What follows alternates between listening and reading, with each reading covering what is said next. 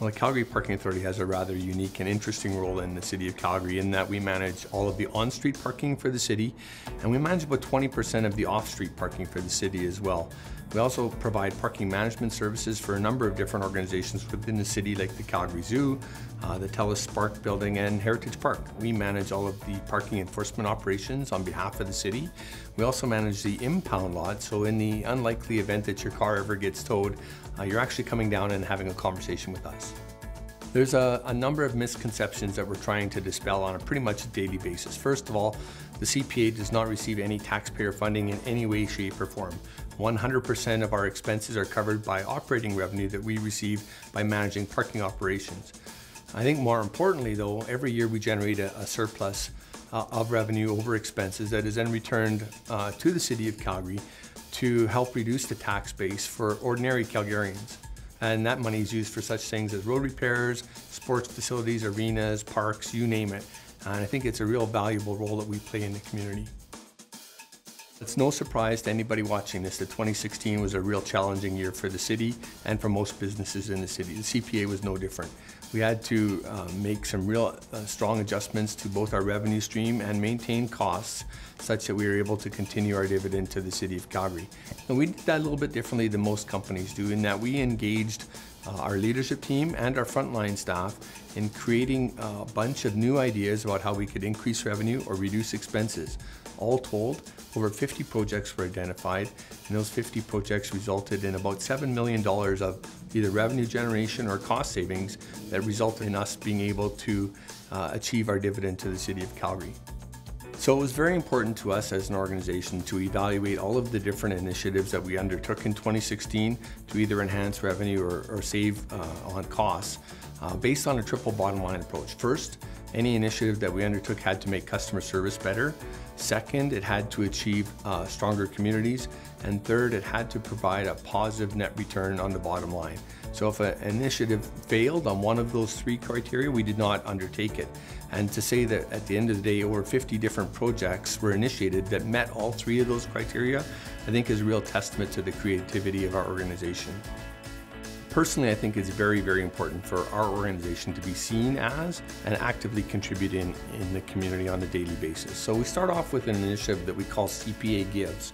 It's an employee-led, employee-driven uh, approach that allows us to focus our charitable giving on eight different organizations uh, selected by employees in the community.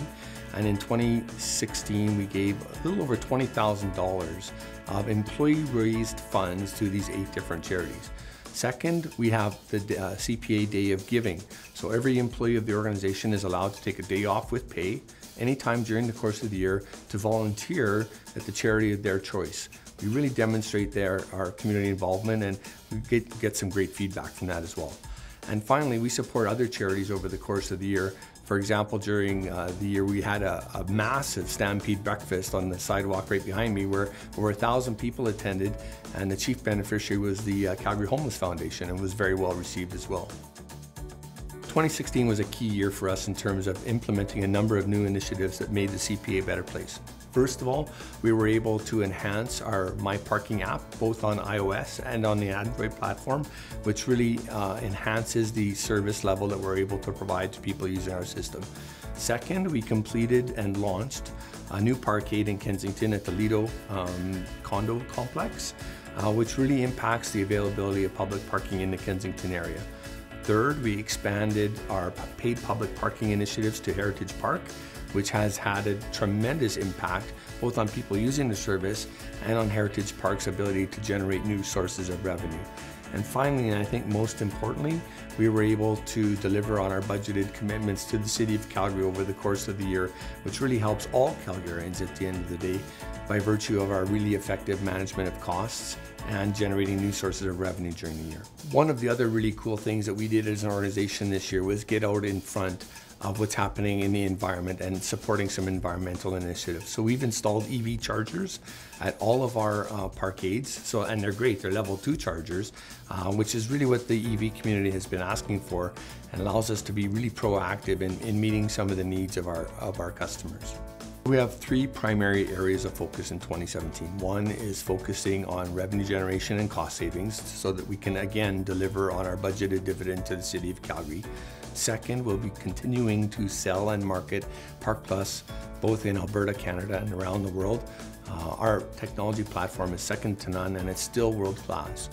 And third, in order to protect that world-class nature of our technology, we'll be making significant investments in what we're doing this year.